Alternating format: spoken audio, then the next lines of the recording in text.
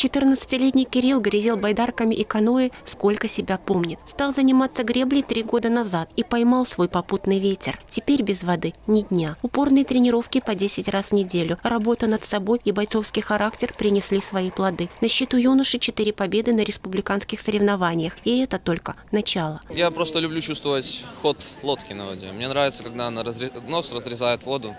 Ну, нравится речная гладь.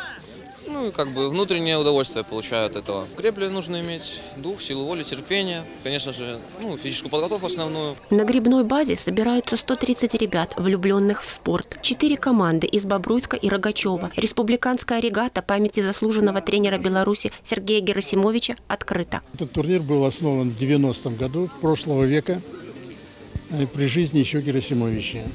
Мы провели шесть турниров при его жизни – он был посвящен основателю грибного спорта в городе Бобруйске. Ну а после его смерти он стал турниром памяти Герасимовича.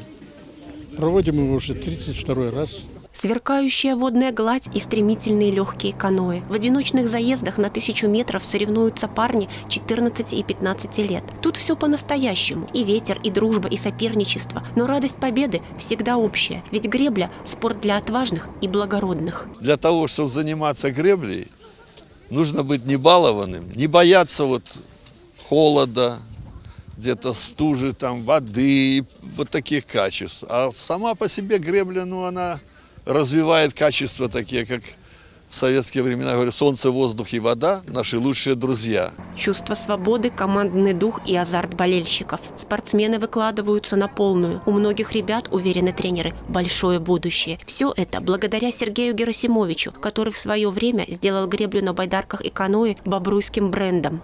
Спортсмен в байдарке сидит на специальном твердом анатомическом сидении, которое называется сляйд.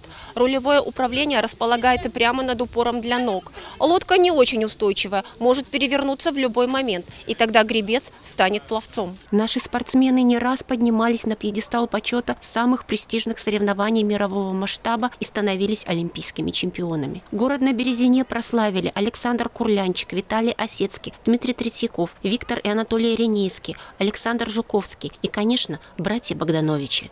Татьяна Горбач, Станислав Чечерин, Бобруйск 360.